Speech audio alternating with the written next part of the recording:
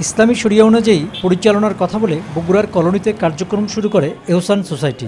বিভিন্ন মসজিদের ইমাম ও আলেমদের মাধ্যমে বেশি মুনাফা দেওয়ার লোভ দেখিয়ে কোটি কোটি টাকা সংগ্রহ করে। তাদের প্রলোভনে পড়ে দরিদ্র মানুষেরা টাকা সঞ্চয় রাখে।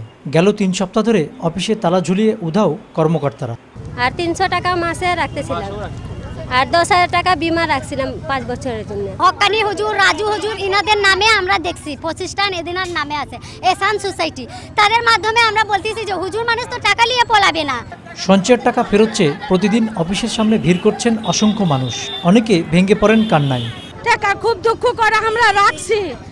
মেচেদ কাজ করে বাসা বাড়ির কাজ করে করে থুসি সকালের জন্য টাকা আমরা পাই গরিব মানুষ আমরা। অনেক কষ্ট করে আমরা টাকা জমা রাখছি এখানে। টাকার জন্য মেয়ের বিয়ে দিবার পারতেছি না আমরা। গ্রাহকের টাকা হাতিয়ে নেওয়ার কথা স্বীকার করেছেন ওই প্রতিষ্ঠানের এক মাঠ কর্মী। এই নিরীহ জনগণের সঞ্চয় আমার এখানে জমা আছে প্রায় চৌত্রিশ লক্ষ টাকা। এসান সোসাইটি রিয়েল এস্টেট ডেভেলপমেন্টে বিনিয়োগ আছে সাড়ে চোদ্দ লক্ষ টাকা। উম, ঊর্ধ্বতন কর্মকর্তাদের সঙ্গে একাধিকবার যোগাযোগ করছি। আপনারা কেস করলে কেস করতে পারবেন হ্যান হচ্ছে তেন হচ্ছে এরকম উল্টাপাল্টা কথা বলে। এদিকে বিষয়টি তদন্ত করে প্রশাসনিক ব্যবস্থা নেওয়ার আশ্বাস দিয়েছেন জেলা সমাজসেবা অফিসের এই কর্মকর্তা।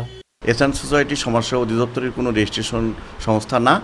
এটার বিষয়ে কোনো অভিযোগ দিলে এখন প্রশাসনকে দিতে হবে এবং প্রশাসন যদি আমাদেরকে কোনো তদন্ত দেয় তখন আমরা এটা আইনগত ব্যবস্থা নিতে পারব। শুধু আশ্বাস নয় সঞ্চয়ের টাকা দ্রুত ফেরত চান ক্ষতিগ্রস্তরা। Rahman SA TV Bogura.